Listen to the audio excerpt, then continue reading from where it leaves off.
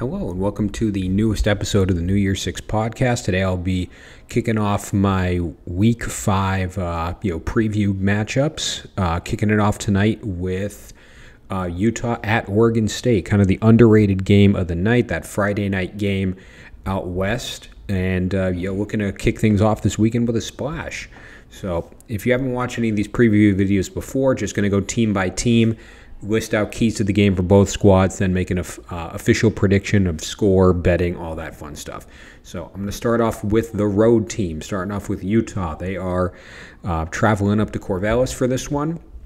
Keys to the game for Utah here. Uh, ultimately, I'm very curious to see you know, from an injury perspective, the depth, not necessarily at QB because Rising is still probably not going to play, but interested really at the uh, receiver position there. You know, Mycah Pittman may not play, uh, Munir McClain may not play. Uh, you know, Brant Keithy or Kuthi, however, however you pronounce his name, I think he's still going to play out. So I really want to see the depth of that receiver position. It's not a it's not a position that's really been hyper utilized uh, over the course of the you know over the course of the season. As a passing attack, Utah has not been one of the uh, the top ones out there. They've been 119th in the country, and we'll get to that in a little bit. But I want to see the depth at those receiver positions. Some of the younger guys or some of the newer guys. Um, you know, I want to see Landon King, Mikey Matthews, guys like that rotate into uh, the passing game. I know they've been very run heavy and run first, uh, I'd like to see what happens if you uh, switch it up on them. Uh, you know, Utah State's going to be preparing for you to run on them, but Utah's the seventh best rushing defense in all of college football. The passing defense has little to be desired. And we'll get into that, you know, when we cover cover Utah State. But generally speaking, it's uh, it's an opportunity where if Utah learns how to move the ball forward through their passing attack, they're going to open up some doors. They're going to find a way to get that happen. And I want to see what happens with the depth pieces and how they play a factor into that. In terms of what Utah has done well so far this season, they're the best third down defense in the country. Facts are facts.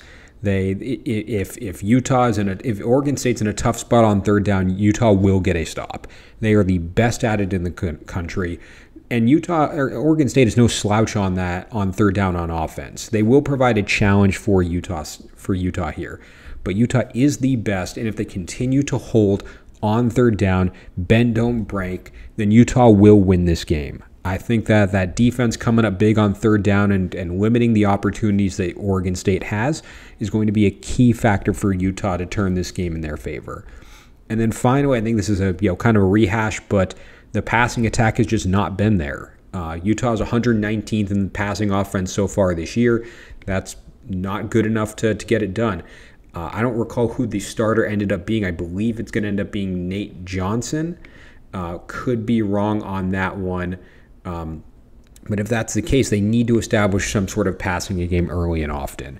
Uh, Oregon State's not going to see it coming. They're going to you know uh, load the box, hit you know hit seven, knowing that Utah's a run heavy team.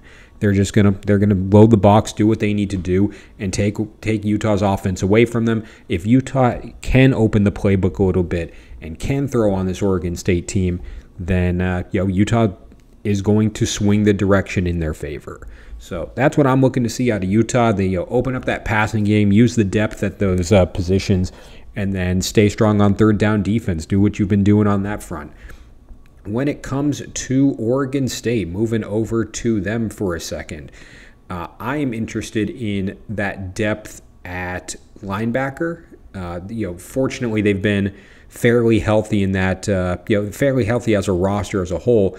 But I'm, I'm very interested to see how those linebackers can rotate through and what the depth looks like, specifically some of those younger guys. Guys like Isaiah Chisholm, guys like Nico Taylor, uh, Melvin Jordan. What can those guys do when they're they're rotating through when they are going through the the ones and twos there? Um, generally speaking, it's a healthy squad, but you know if someone goes down, one of those guys is going to have to step up in the linebacker role. There's already one injury. Uh, you know, um, what's his name's out for the season there. Uh, you know, Micaiah Tongue, who I don't think played a whole whole lot, but you know the the uh, you know the odds are that if one goes down, someone needs to step up. And even if he's a depth piece, those depth pieces are going to have to rise to the occasion. So interesting to see what those linebackers can take care of uh, for Oregon State. In terms of where they've gone well so far this season, inside the 20, they are the best of the best. Uh, Oregon State has the best red zone offense in all of college football. If they're inside the 20, they're putting up points. They need to do that against Utah. Utah's red zone defense is no slouch. They're top 20. So if Oregon State can best them in that department and score when Utah doesn't want them to score, then Oregon State is going to, you know, have that advantage and have that momentum going through the rest of the game, knowing that they t- take you know they, they took an opportunity away from Utah to get a stop, and you know Oregon State's putting points up on the board. That's going to be big for Oregon State. So that's what I'm looking at uh, in terms of what Oregon State has done well. In terms of where they've struggled, kind of the opposite of where Utah struggled. Utah cannot pass the ball. Oregon State cannot defend the pass. They're outside the top 100. So it's going to be a matchup of which one of those rises to the occasion. Will Oregon State's pass defense or Utah's pass offense? Who will be the one that rises to the occasion? If it's Oregon State's pass defense, Oregon State wins on their home turf. If they don't rise to the occasion, Utah's 5 and 0. So those are my thoughts in terms of what Oregon State needs to do.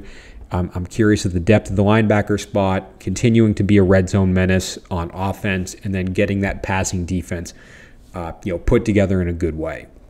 So now it's time for my official prediction here. So Utah is the favorite. They are, or Oregon State is the favorite. They are favored by four points, and the total is 44. Uh, I'm going to take Oregon State to win. I'm going to take Oregon State to cover, and I'm going to take the over on 44. So final score prediction, just from a modeling perspective, is 25-20 Oregon State. I do like the offense is a little bit more, um, specifically Oregon State's. I do, I think they they're a little bit more put together. Utah def, Utah defense is no joke, but I like Oregon State at home getting a rebound win uh, against a tough looking Utah team. Don't get me wrong. This is this is one of the games of the week. There's a reason I'm covering this. I know they're not two quote unquote brand name squads, but they've looked great so far this year, and you know they deserve the spotlight when it's available. But I really like the over on 44. That's uh, it's the one I would like a little bit more. Ultimately, it, it's tough either way.